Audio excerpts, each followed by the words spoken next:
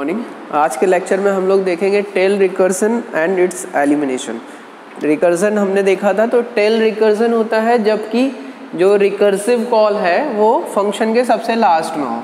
जैसे एक ये फ़ंक्शन है फंक एन एंड एंड ले रहा है।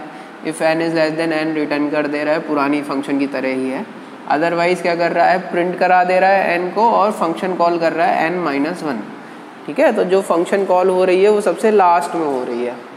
ठीक है, जो लास्ट स्टेटमेंट्स है, वही फ़ंक्शन कॉल है। तो इस तरह का जब भी वो आता है कंडीशन तो इसको कहते हैं टेल रिकर्जन ठीक है? मीन्स टेल मीन्स सबसे नीचे रिकर्जन मीन्स रिकर्सिव कॉल तो जब रिकर्सिव कॉल है वो सबसे लास्ट में हो रही हो तो उसको कहते हैं टेल रिकर्सन ठीक है? इसको एलिमिनेट भी कर सकते हैं, क्योंकि जितनी बार फ़ंक्शन कॉल आएगा तो उतनी बार हमें स्टैक लेना पड़ेगा। तो अगर n माइनस वन हो रहा है तो हर बार एक एक एक एक होगा तो n का लगभग एन साइज़ का हमें स्टैक का ज़रूरत पड़ेगा। ठीक है? तो ये जो स्पेस कॉम्प्लेक्सिटी है, ये एन हो जा रही है स्टैक को लेने के लिए। लेने के चक्कर में तो ऑर्डर ऑफ़ एन हो जा रहा है। अगर हम इसको हटा देंगे तो एलिमिनेट कर पाएँगे तो स्पेस कॉम्प्लेक्सिटी कम हो जाएगी।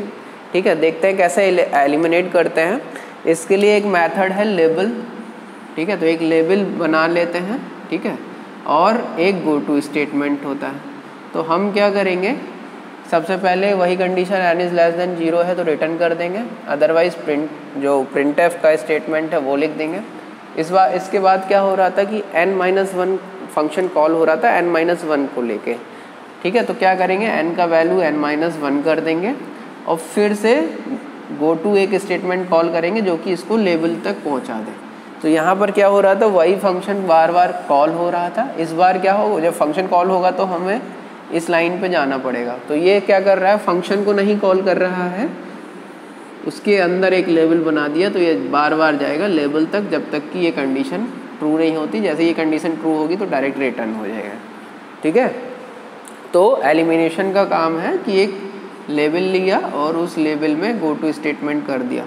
तो ये हर बार इतना स्टेटमेंट बार बार एग्जीक्यूट होता रहेगा, ठीक है? एक्स्ट्रा स्टैक में मेमोरी नहीं लगेगी तो ऑर्डर ऑफ़ वन इसका वो, कोई स्टैक का वो नहीं होगा, जितना था उतना ही रहेगा। तो लगभग ऑर्डर ऑफ़ वन इसका स्पेस कॉम्प्लेक्सिटी हो जाएगा। तो इस तरह से हम टेल रिकर्जन में जो रिकर्सिव कॉल है, उसको हम एलिमिनेट कर सकते हैं। ठीक है? चलिए, ठीक है? आज के लिए इतना है, काफ़ी है। Thank you